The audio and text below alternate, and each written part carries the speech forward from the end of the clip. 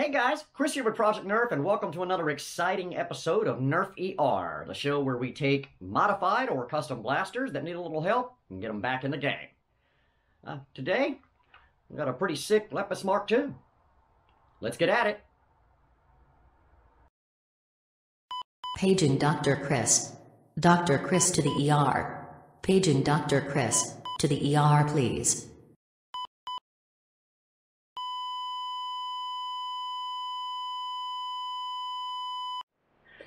Alright guys, so I have saved you the uh, little bit of agony of taking this thing completely apart here. It only holds, yeah, has about eight screws, so it's no big deal. Let me read you what the customer stated here uh, in his letter.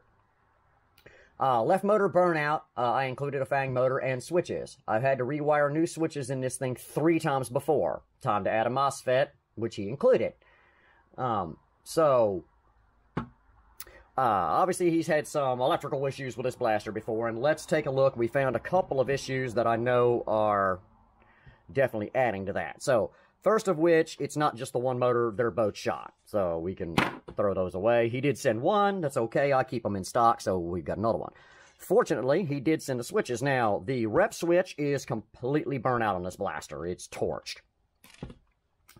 Uh, the pusher motor is good, and technically the upper uh, fire switch is still good, but um, we're going to go ahead and replace it too. So, what we got into in the condition that we've had with this thing burning out switches, okay, first, guys, these little tiny switches are not rated for crap. Um, and Fang revamps, uh, if my memory serves, at full stall, pull 26 amps apiece. Um, and why is this important? Again, little switch like this is not rated to carry any real amperage anyway, so MOSFET is definitely going to be the way to go, but uh, why have the switches been burning out? Well, there's a couple of things. If we flip the top cover over, and look right here, guys, you can see plain as day uh, that the flywheel on that side has been rubbing. So what we've had, at least for a while here, is one of the motors, and here's the flywheel, and again, you can see the rub marks on it. So we've had at least one motor in a partial stall. So because it's rubbing, it's working harder, drawing more amperage, and uh, thus burning switches out faster. So obviously we've got to go ahead and get this taken care of, sand it back down and cleaned up, and make sure that we have proper clearance on our flywheels before we put this thing back together. Uh, so with that, I'm going to start cleaning this up uh, and getting it sanded back down flat. Uh, go ahead and install our new motors in the cage and get those uh, taken care of, and then I'll uh, get back with you. Alright, so I used a razor blade and scraped down those heavy ridges on that, and then I sanded it, and it looks a little scuffed up, but I finished that with 1000 grit paper, guys, and it is smooth as a baby's behind there, which is what we want. Alright, so to avoid this in the future, and like I said, you can see on the top of that flywheel uh, where it was rubbing.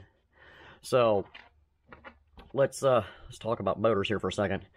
Fang revamps, a lot of the Neo motors have a pretty high crest right there at the bearing.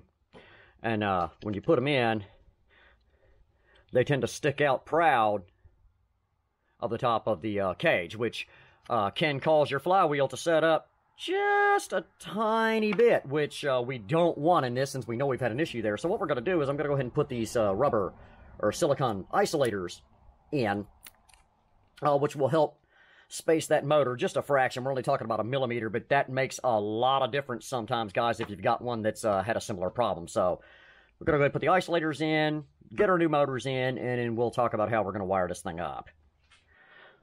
Okay, so we've got our cage back together. And you can see here I uh, used my razor and very carefully scraped off the ridges that were in the top of the flywheel and then sanded that down with 1000 grit paper. Again, looks a little rough, but it is very, very smooth. Same thing here. So hopefully we don't have those same clearance issues. If we do, we'll do a little extra sanding and grinding and make everything work. We've already polarity tested the cage. Both of the motors are running great. So now it's time to wire this bad boy up. So we've got our little MOSFET here and uh, the two micro switches.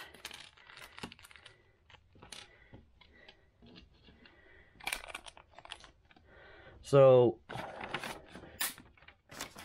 let me grab a piece of paper and I'll draw this out for you uh, so that you can see exactly what I'm going to do with the wiring. So give me a minute there and I'll get right back to you.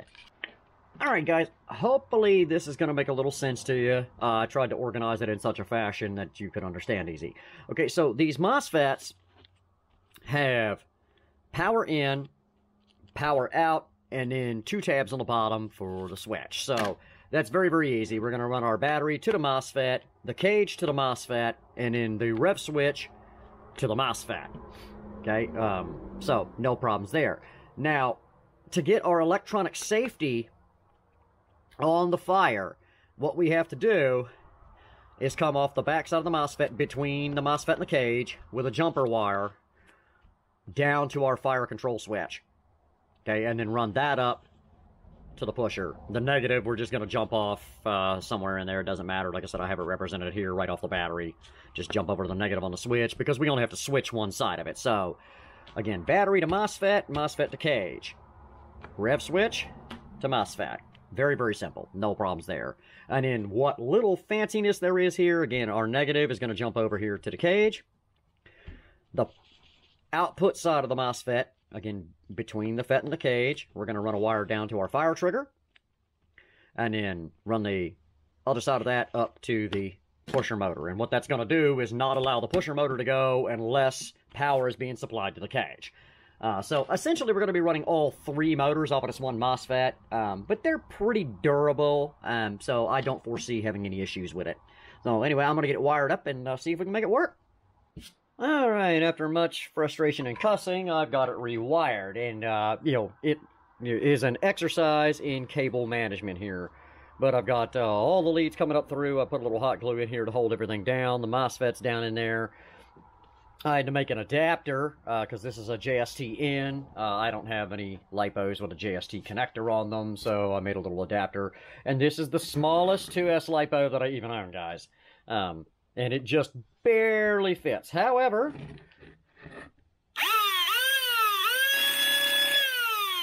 it works. So uh, anyway, let's get it buttoned up and uh, run a couple of mags through it and see what it does. Alright guys, forgive the uh, the wind and the traffic. Uh, we've got her all buttoned up, got a mag in here, let's see if it goes. Emptied that one.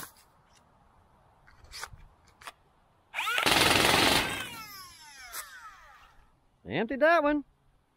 Yeah, it works.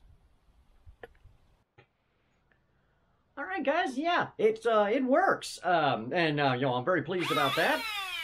Um, this is my first time ever working on one of these, and there's a reason for that. Um, I'm not a fan of the design as a whole. Um, while I understand the need to have a compact, uh, full auto blaster to mag dump in a pinch or something like that, this one's got a couple of things with it that I don't necessarily approve of. The first of which being the exposed micro switches. I don't like that. Um, you know, it is very susceptible to moisture or anything like that. Not my thing. Secondly, they could have made this thing a couple inches longer uh, to support the out of darts uh, graphene lipo. And my reasoning for that is uh, it's pretty simple. Okay, if we uh, take a look here, like I said, this is a very small uh, 30C 450. Yes, 450 milliamp battery. Okay, so it's it's a tiny battery. Technically, it does not carry enough current to run these Fangs if you get a stall condition. Um, where versus the out of darts graphene does. And under amping these motors is bad, guys. Uh, that's not a good thing. You really want to run the proper amount of amperage to them. So uh, I don't like the super small battery compartment. They could have stretched that out a little more and uh, made room. There's no way you could get that in here. Um, hold it here and set that against the block, you can see it would stick out well past. So this could have been a couple inches longer um, to accommodate a larger battery and would have been good.